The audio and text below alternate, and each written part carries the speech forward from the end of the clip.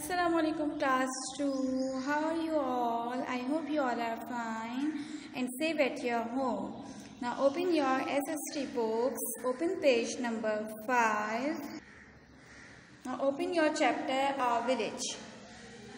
सबसे पहले हम विलेज को डिस्क्राइब करेंगे विलेज होता क्या है विलेज कहते हैं हम गाँव को जहाँ छोटी घर होते हैं बिल्डिंग्स नहीं होती हैं विलेज और सिटी सिटी कहते हैं शहर को विलेज कहते हैं गाँव को। अगर हम डिफरेंस करें, फ़र्क पैदा करें विलेज में और गाँव में विलेज में और सिटी में तो गाँव और शहर में क्या फ़र्क होता है?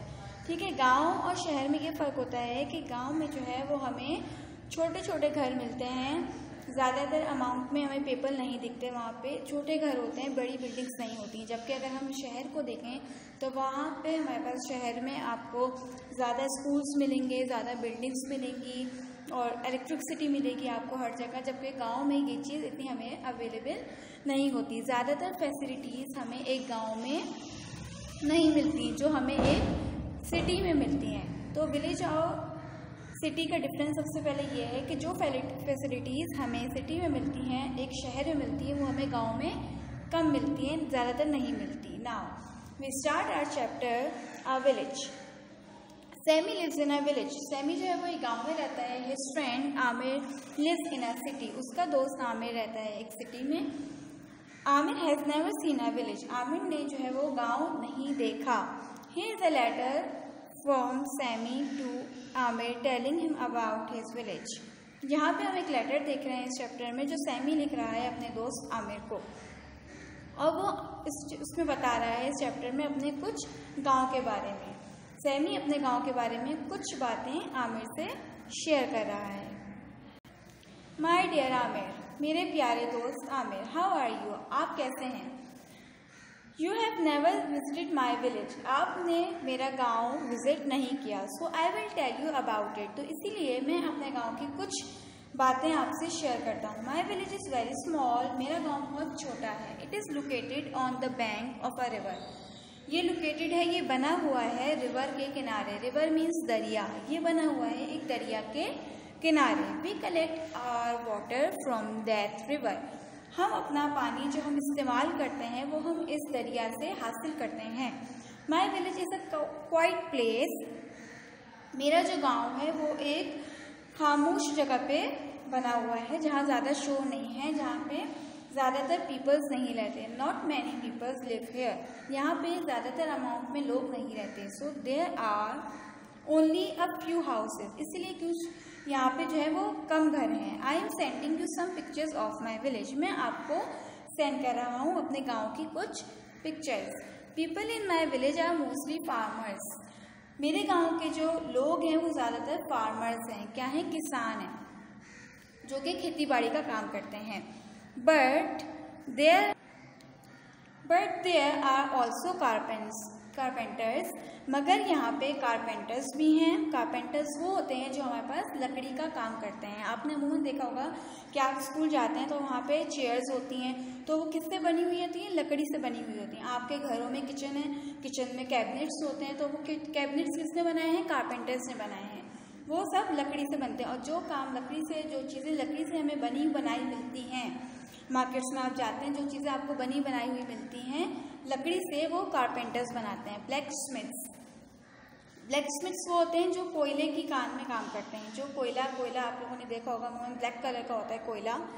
ठीक है, कोल जिसे हम कहते हैं तो जो उसमें काम करते हैं, यहाँ पे ब्लैक स्मिथ्स भी होते हैं शू मेकर्स जो हमारे शू बनाते हैं, जो हम शूज़ पहनते हैं, जो हम, अगर हमारे, अब देखते हैं ना, अब शूज़ कैसे बने हैं? अब ऐसे तो नहीं आके ना तो उसको भी तो किसी ने बनाया है ना तो यहाँ पे शूज़ मेकर्स भी हैं मैसन्स भी हैं मतलब मज़दूर, यहाँ पे जो है वो, अब आप देखते हैं घर बने हुए हैं। तो घर किसने बनाए मज़दूरों ने बनाए तो यहाँ पे मज़दूर भी हैं एंड शॉपकीपर्स भी हैं।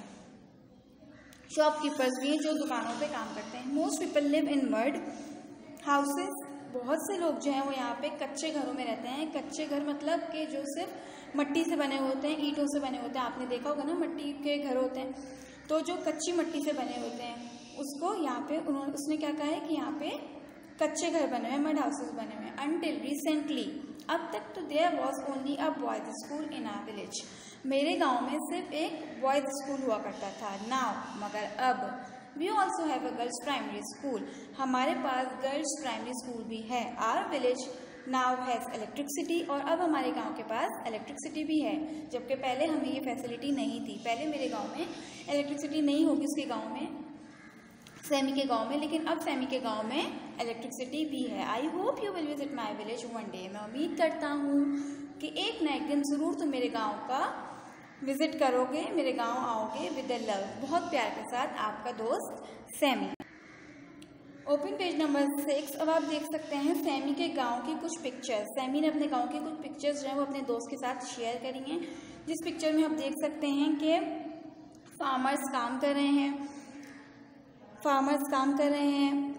एक आंटी हैं, एक आंटी को देख रहे हैं ना, वो खाना बना रही है, लेकिन वो जो है लकड़ी के चूल्हों पे खाना बना रही है। एक चीज़ आपने नोट करी, वो लकड़ी के चूल्हों पे खाना बना रही है, जबकि सिटी में हम गैस के चूल्हों पे खाना बनाते हैं। गैस हम यूज़ करते हैं, लेकिन गाँव में ये डिफरेंस है एक गाँव का और एक शहर का, कि गाँव के जो लोग होते हैं, वो लकड़ी के चूल्हों पे खाना बनाते हैं, जो कि उनके पास गैस नहीं होती है।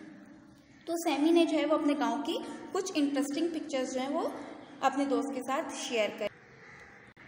I hope you all are understand this chapter और इस चैप्टर को आप लोगों ने बहुत अच्छे तरीके से मज़े से समझा होगा और आपको आराम से अब गाँव का और एक शहर का डिफरेंस पता लग गया है। ना ओपन पेज नंबर सेवन अपनी अपनी बुक्स का आप लोग पेज नंबर सेवन ओपन करिए।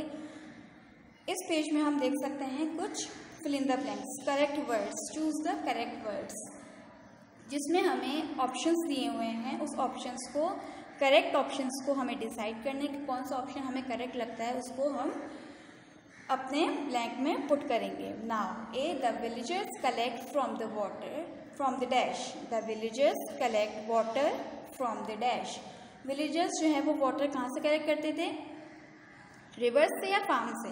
हमने क्या पढ़ा था चैप्टर में विलेजर्स जो है, वो कहाँ से पानी अपना जो पानी वो यूज़ करते थे, जो पानी वो इस्तेमाल करते थे, वो कहाँ से लेते थे? रिवर से, दरिया से लेते थे। तो हम यहाँ पे क्या लिख देंगे अपनी ब्लैंक में?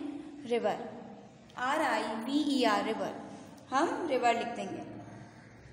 आपकी आसानी के लिए मैंने इसलिए इसमें लिख दिया है ब्लैंक आप लोग अपनी अपनी बुक्स में इस ब्लैंक को लिख लीजिए rivers number B dash people live in a village अब बताइए आप मुझे हमने चैप्टर में क्या पढ़ा था? कि विलेज में जो है वो मैनी पीपल रहते थे अब फ्यू पीपल रहते थे। ऑप्शन दिए हुए हैं आपको। आपको दो ऑप्शन दिए हुए हैं मैनी अ फ्यू अब बताइए आप बहुत ज़्यादा लोग रहते थे या कम रह, लोग रहते थे? तो अब फ्यू पीपल रहते थे। तो हम आप फ्यू जो है वो अपनी ब्लैंक में लिख लेंगे। सी में आपके पास है the village people use dash for cooking अब बताइए, आप मुझे सैमी ने कुछ पिक्चर्स शेयर करी थी ना अपने दोस्त के साथ? उस पिक्चर में हमने देखा था एक आंटी को। तो वो आंटी क्या कर रही थी? खाना पका रही थी कुकिंग कर रही थी, जैसे हम सबके घरों में हमारी मदर्स कुकिंग करती हैं। सबकी अम्मी अपने अपने घरों में खाना बनाती हैं, लेकिन हम कहाँ रहते हैं? हम सिटी में रहते हैं, हम एक शहर में रहते हैं। तो हम अपने घरों में कहाँ पे हम खाना पकाते हैं? गैस के चूल्हे पे हम खाना बनाते हैं, गैस फ्यूल पे हम खाना बनाते हैं। लेकिन गाँव में जो है वो, जो पिक्चर सैमी ने शेयर करी थी अपने गाँव की तो उसमें वो आंटी किसमें बना रही थी खाना? वो लकड़ी के चूल्हे पे बना रही थी। तो हम यहाँ पे वुड लिख देंगे। वुड हम किसे कहते हैं? लकड़ी को। In Sammy village people live in dash Sammy के विलेज में पीपल कहाँ रहते थे? बिग बिल्डिंग्स में या सिंपल मड हाउसेस में? सिंपल मड हाउसेस में रहते थे ना?